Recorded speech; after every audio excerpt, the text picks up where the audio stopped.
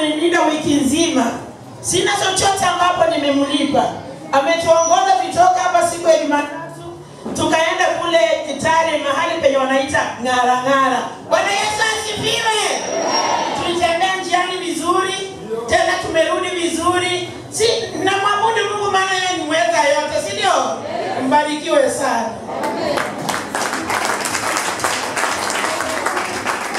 Bwana Yesu asifiwe. Yesu. Amen. Asifiwe Yesu. Asifiwe Yesu. Nashukuru Mungu sana kwa majina ni yule yule Jennifer Rugete Ibrahim kutoka hapa Juda. Asifiwe Yesu. Mimi nikisimama mbele hapa mbele yenu, ile furaha nayo niliyo nayo, Mwenyezi Mungu mwenyewe ndiye anajua. Kusema ukweli, Mungu ndiye anaweza. Tarehe 24 tulikuwa hapa pamoja na mzee wangu wale walikuwa wanakumbuka, mimi ndo nilisema sitaki bwana nilikuwa akiwa kipofu. Nashukuru Mwenyezi Mungu, tangu tulipotoka hapa tarehe 24 mpaka leo, Mungu ni mwaminifu. Mzee wangu ni mzima, ni ule ugonjwa wa tumbo tuliuacha hapa katika jina la Yesu. Asifiwe Yesu. Mungu amezidi kutuonekania, amezidi kunitetea na familia yangu. Hakuna kile tunamlipa ila ni kumtukuza na kumwinua. Asifiwe Yesu.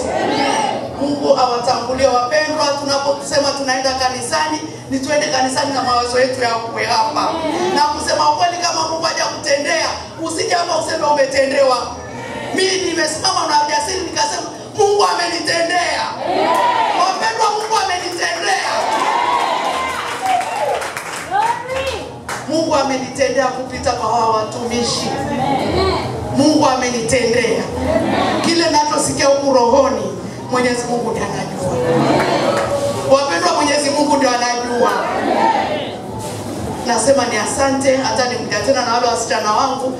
Tulikuwa tuje na mzee, lakini asubuhi akaamka akisema tumbo linamsumbua. Nikamwambia huyo ni pepo, hata uende ukamtupe. Ninakwambia mtupe, na ukibaki nyumbani linakusumbua. Sisi tunaenda kumtupa na kumkanyaga katika jina la Yesu. Asifiwe Yesu. Baba, tutakumbuka tutakapoingia kwa maombi, mumkumbuke mzee, lakini ni mzima, hata afya yake imeanza kurudi, hata sura yake, jamani, ule mtu ni mweupe, si mweusi, imeanza kurudi, na ni hayo tu. Mbarikiwe na Yesu.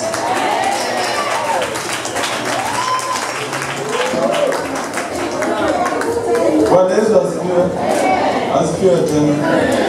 Nimesimama hapa kumshukuru kufika sehemu hii. Nilikuwa naomba tu maombi yenu, nasafiri kuelekea sehemu za Kakamega. Tulimpoteza nyanya, so tunaenda kwa mipango ya kumzika Jumamosi. Ni hayo tuna Mungu awabariki. Bwana Yesu asifiwe. Ah, kwa wale ambao wanifahamu na naitwa Leonard Kefa. Leo nimesimama hapa kumshukuru Mungu kwa maana wiki mbili zilizopita nilikuwa nasherekea mwaka wangu mzima kwenye kanisa. Wakati nilikuja uh, 2018 February, mambo kweli yalikuwa magumu, yalikuwa mabaya, lakini nashukuru Mungu kwa maana kwa saa hii amenitendea. Sikia mtu anakuambia ametendewa, mama anasema naamini nimetendewa kuliko yeye, lakini Mungu ndiye anajua. Na- na- Naomba ni mtumishi wa Mungu misho kwa maana nilielekezwa na dada fulani hapa, alipokuta nikaongea naye akanipatia mwelekeo. Na I think sijarudi kwake tena. Lakini nataka nishukuru sana kikundi cha Kesha, au ndio walinisaidia sana kimaombi, kwa maana kusema kweli, kama kuja kwamba uji Kesha, kuna kitu napoteza.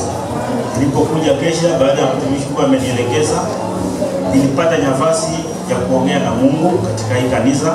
Shukuruni Mungu, mko na wakati unapewa kuombea kuongea na Mungu.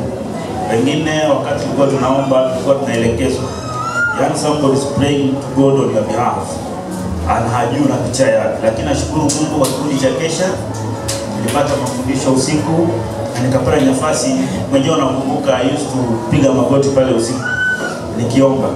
Nashukuru Mungu na ndani ya roho yangu ninaamini kuwa niko mahali pazuri na Mwenyezi Mungu awabariki.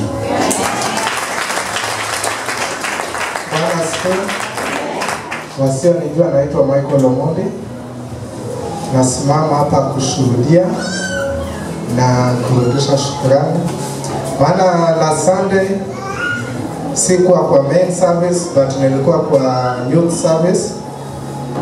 Tulikuwa na safiri kidogo kuelekea upande wa Vipingo.